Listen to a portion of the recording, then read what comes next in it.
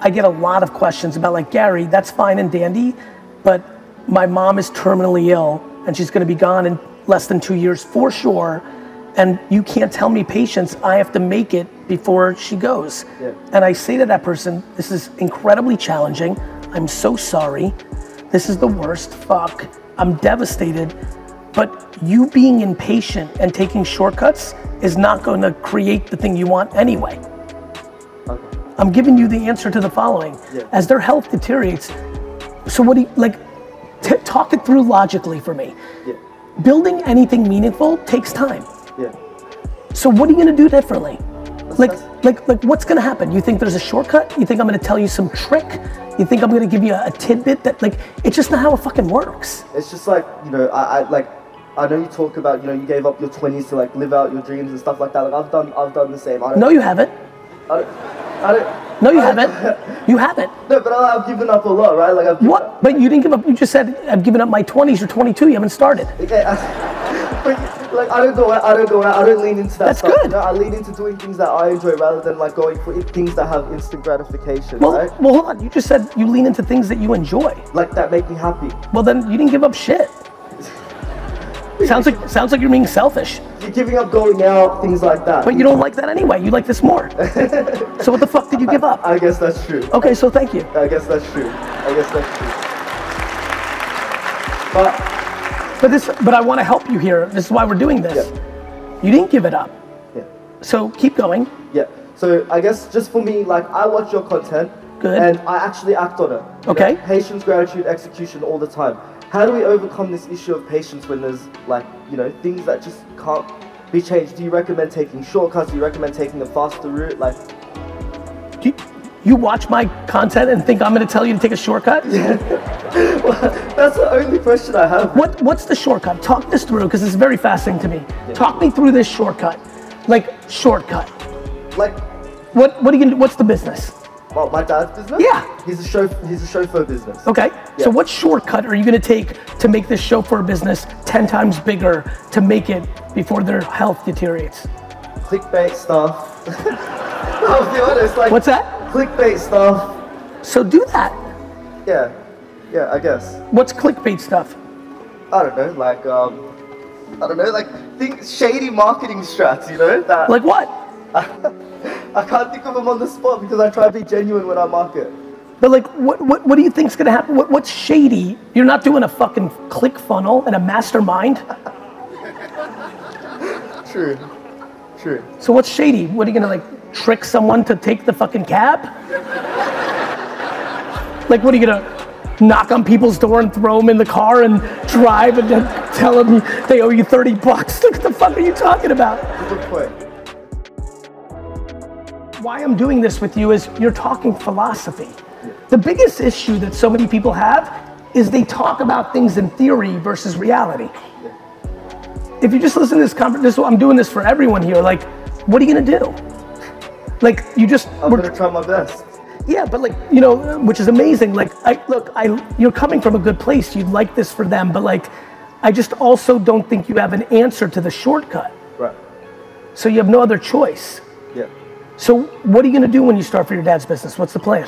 Um, well, he's he's had it for a while. And honestly, I love you, Dad, but um, it hasn't been profitable for a Okay. while. Yep. So I'm I'm relaunching it. Um, you know, I'm gonna be doing the advertising for it. I'm gonna try and manage his finances, and I really want to just like boom his business. You know, like Well, um, ju- just by stopping, just by cutting costs yeah, and making it not not profitable, yeah. you've already advanced it dramatically. That's right. Yeah. That's not a shortcut. Yeah. That's working a P&L properly. Thank you, Gary. You're welcome. And um, just one more thing. You said if you don't ask, you'll never know. So That's right. would I ever be able to get you on my podcast, which is about finding gratitude and happiness? You know, one thing that I said up there is I'm working more on my candor. Yeah. And so, You can be honest. That's, yeah, yeah, no, listen, I'm working on it too. Like, no bullshit. Years ago, 10 years ago, I would sit here and be like, yes, and everybody would clap, and then like there'd be an 80% chance I wouldn't do it, right? And I don't want to be that person. The answer is maybe. Okay. If you email me, I, and in the title put, I was the kid that was looking for the shortcut, yeah. you know, maybe we'll sneak it in. What are some things that you do specifically um, in practice with your children to instill these things? I I do very similar things. So what he's referring to for the people that are really deep in my content, I talk about these singular moments where I got positive reinforcement. Uh, my mom.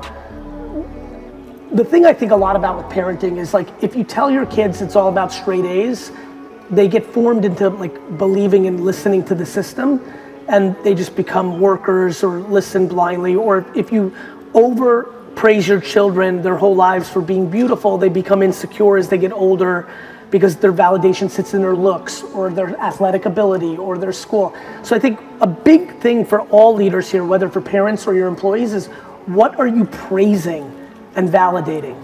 And so for me i follow a very similar blueprint you know with my with my son he's got a lot of empathy. He's got a lot of feelings towards his friends.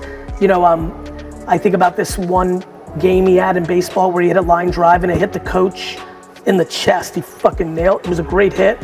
Hit the and instead of running to the base, he stopped and went and checked on the coach. And I continue to bring that up to him literally every other week that he had more compassion to see if the coach was good than his own selfish needs or excitement to succeed in the sport he was playing. With my with my daughter, I think about things about like when I see that she's not putting too much pressure on herself. You're basically watching and you're thinking about what validation systems you can do on things that are going to benefit them based on their personalities. Um, back to the reverse engineering we talked about earlier. So, you know, I, look, I think, I think if you love yourself and you're good to other people, your life will always be good. There's unlimited people on earth who are deeply happy making $46,000 a year in annual income. They exist at scale. And so I think we've put so much time and effort into so many other things and you know, for me, I'm spending all my time trying to make sure that they're just happy, actually. And it starts with, you know, reinforcing nice behavior, either for others, think about the first story I told you, or to oneself. Think about the second story. You know, for me, if I'm thinking about creating a curriculum, the concept of information memorization is ludicrous asking kids to memorize stuff for tests is silly when we have technology where it is today. For me, I would try to build a school that was building self-esteem and was teaching kids how to interact and was teaching kids practical things like real rules of society, like competition and merit, how to pay your taxes, like what life insurance means. It would be completely based on common sense and kindness.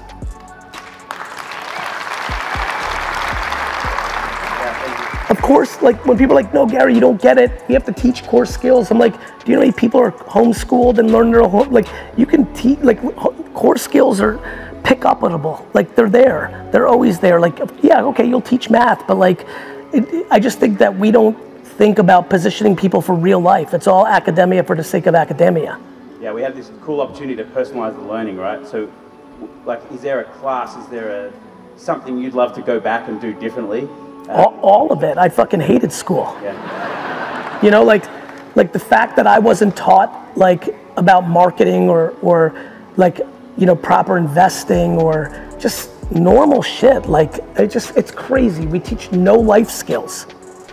And, and to the parents that are worried about privacy of AI data, do you think that's a thing that we're just going to shift our mindset around that? Every single person in this room's privacy and data has been compromised already.